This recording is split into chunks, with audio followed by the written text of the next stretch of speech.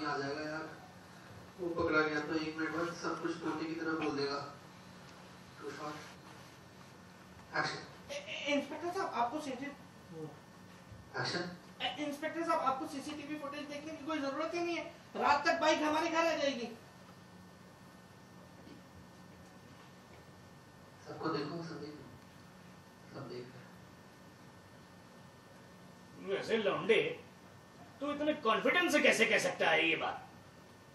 बोल जीजा सारे को कैसे पता कि हमारी बाइक रात तक आ जाएगी?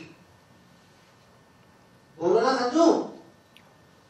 वो वो बेबी मैंने ना सूखी झाड़ी वाले बाबा के यहाँ पाँच सौ एक रुपए का प्रसाद चढ़ाया है। उनके यहाँ पे ना हर मांगी हुई मन्नत पूरी हो जाती है। मैंने मांगी है कि भूपेश की बाइक आज रात तक हमारे घर आ जाए मिल जाए हमें। अरे सब उनके यहाँ पर ऊपर नीचे हो तो चलो एक्शन मैंने ना मैंने ना सूखी झाड़ी वाले बाबा के यहाँ पाँच सौ एक रुपए का प्रसाद चढ़ाया कि भूपेश की बाइक आज रात तक हमारे घर आ जाए। उनके यहाँ मांगी हुई ना हर मन्नत पूरी हो जाती है। शर्मा जी ने भी की थी उनकी भी हो गई पूरी। भाई झाड़ी वाले बाबा की मन्नत पूरी हो ना हो लेकिन ये सोच लो कि आज हमारे काटू का काम हो जाएगा। काटू चल बेटा तेरा टाइम आ गया अब अपने दांत नाक कान सब इस्तेमाल कर ले तू।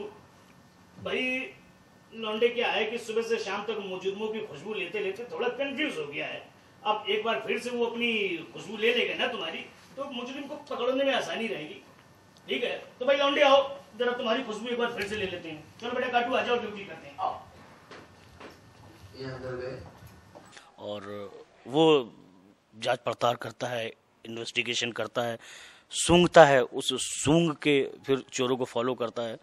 तो वही जस्ट अभी, जो इनका साला है मिस्टर साजन का, वो खाना नहीं खा रहा है, नाश्ता नहीं कर रहा है, डिनर नहीं कर रहा है, कुछ भी नहीं खा रहा है। तो ये जस्ट आ गया है और दोनों से पूछताछ चल रही है। साजिश, ये सब, साजन की ही रहती है और ये कुछ ना कुछ षड्यंत्र बनाते रहते हैं, बहाने ढूंढते रहते हैं कि मैडम के नज़दीक कैसे जाएँ, उनको इम्प्रेस कैसे करें। तो ये षडयंत्र है, साजिश है, सिर्फ़ मैडम तक जाने की, बाकी कहीं कोई बाहर का कोई चोर नहीं होता, कुछ नहीं। ज़्यादातर ये इनके खुद की अपनी प्लानिंग होती है।